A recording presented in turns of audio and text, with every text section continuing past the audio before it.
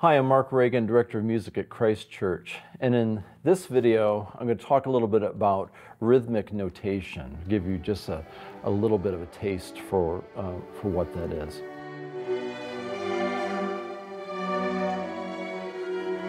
When we're talking about rhythmic notation, we're talking about just that. Notation, we're, we're talking about notes, actually. And so just to be clear on what that, what that means when you're talking about notes, sometimes someone might say that that song ended on a high note. Uh, what they mean and what the term actually means are different things. So when you say that a song ended on a high note, uh, you're thinking, you're actually thinking the, the pitch, right? So may, what, what is it, a high C, right? It, the, the singer ended on a high C. That's a pitch and not a note. When we talk about notes, we're actually talking about rhythm, technically speaking. So you have pitches and pitches and rhythm.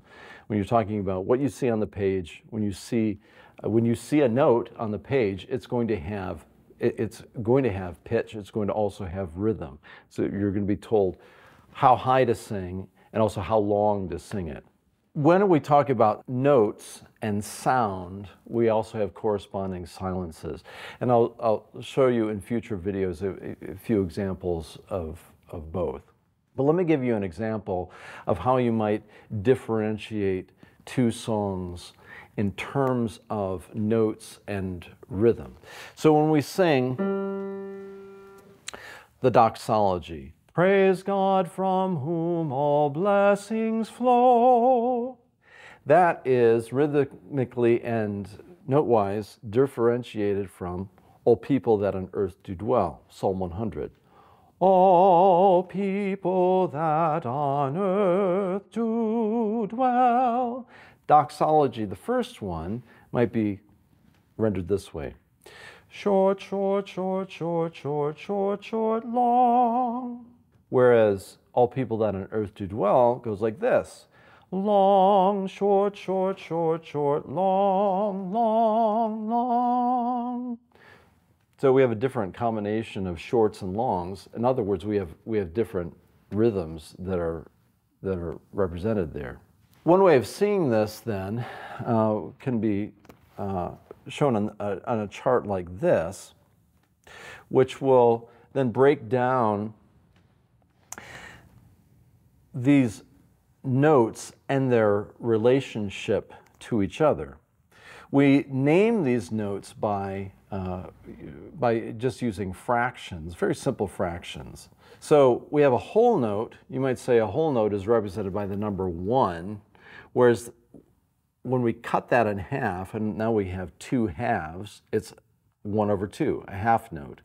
And this is one over four, a quarter note, one over eight, eighth notes, 1 over 16, a 16th note. This is the, not all the rhythms that you would see in, in music, but this gives you an idea of how they relate to each other. When we sing Old Hundredth, All People That on Earth Do Dwell, it would look like this in the Cantus Christi.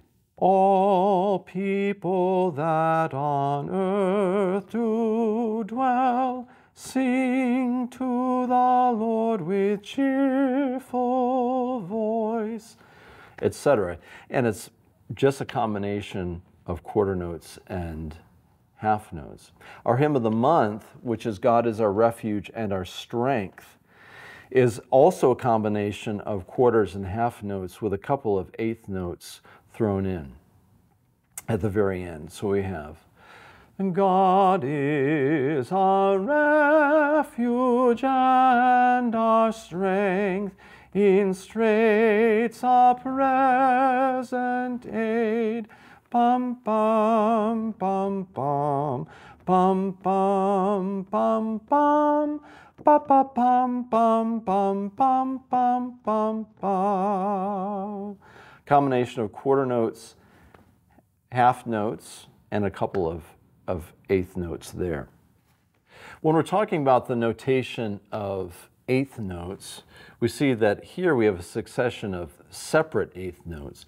When I say separate, I mean that they have this flag on them, right? But this, this, this flag is, is tied to each individual note.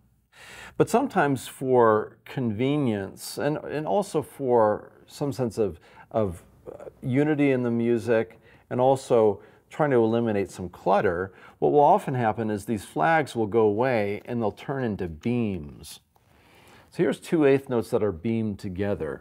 And that's a, just that's a, a sort of a, a, a neater, more unified appearance for these eighth notes. Sixteenth notes, which have two flags, can be shown this way with beams. So just because the appearance changes a little bit doesn't mean that their value changes. It only is shown this way for convenience and neatness on the page.